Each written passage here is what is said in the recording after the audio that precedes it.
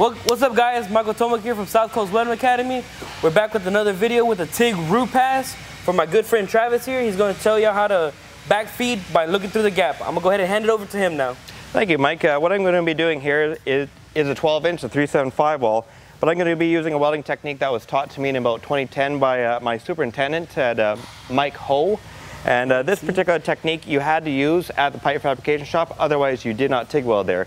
and basically what it's going to be is I'm going to have the fill metal up top here with the tack here. I'm going to be looking through the gap right here and I'm going to be TIG welding down here, feeding it, feeding it, and TIG welding that way. Left hand side, I'm going to go over here and I'm going to do the very same thing with the right hand side.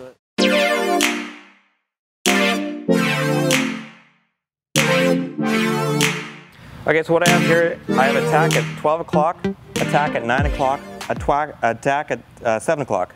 I have the filament metal, the tack is on this side, I'm welding this side, the filament metal goes against that side.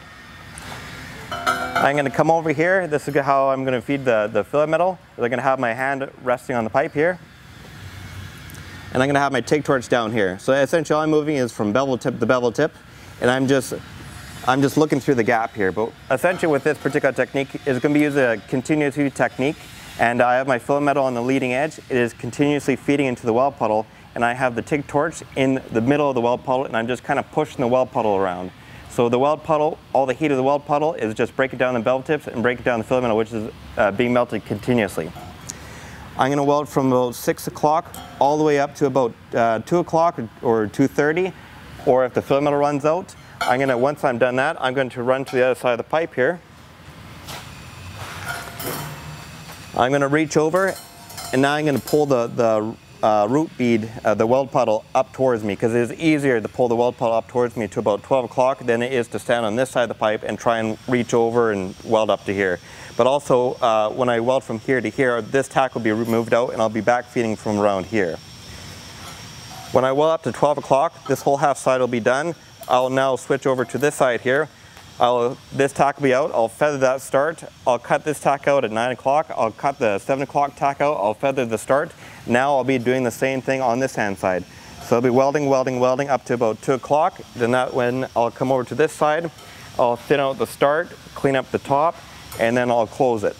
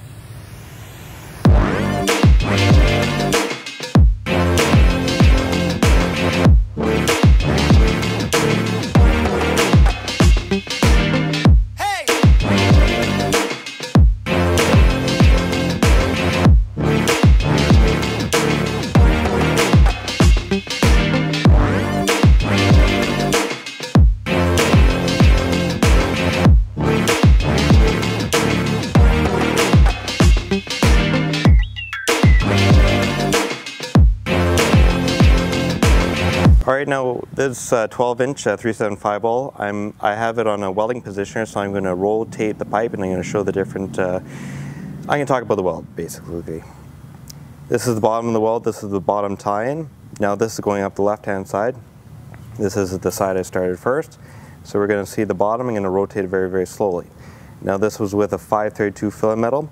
Uh, the 532 is uh, deposits more metal. Um, it's easier to use a 532 on larger diameter piping, say 12 inch, 14 inch, because you don't have to feed as much metal.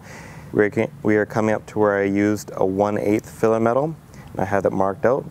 So up to maybe about somewhere around here, I believe right here, it switches to a 1 8 Reason why I switched is because I did not want a, heavy buildup on the top because as you it has more buildup with 532 filler metal at the bottom, which is relatively uh, helpful. But uh, 1 8 keeps a more uniform bead and it's also uh, less deposition in comparison to the 532. This is left hand side, we're coming up to the tie-in. Also you can tell by a little bit of the smoke here. We have the tie-in there. Tie-in was done with the right hand side which I'll be showing here. We now have the right hand side. Right here, about uh, two inches away from where I tied in is where I ran out of filament metal and I had Mike uh, uh pass me more filament metal. This is right hand side. This is done with a 1 8 filament metal to avoid buildup. Uh, I wanted to have the weld bead uh, relatively uniform, the root pass uniform. This is all 1 8 up here.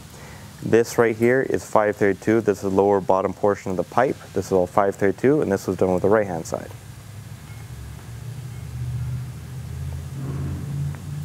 And we're coming back to the pipe. I believe this is silicate or silicon. Cannot remember the differentiation between the two.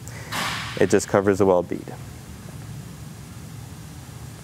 I was using 70S-2 and 70S-6 for the 1 8 and 532 beads. We're back at the bottom. This is the tie-in. This side is right hand side. This side is the left hand side. And this is the root pass on this pipe, done with 532 and 1 8 filament metal. With this particular technique, uh, many years ago, uh, Mike Ho, who was my superintendent in a pipe fabrication shop I worked at, uh, he is the one who taught me this, and I just want to say thank you to Mike because um, this particular technique really greatly improved my, my uh, welding ability and my TIG welding ability, and it really opened a lot of doors for me. So I just want to say thank you, and um, you can follow me on Instagram at FieldRes. Thank you.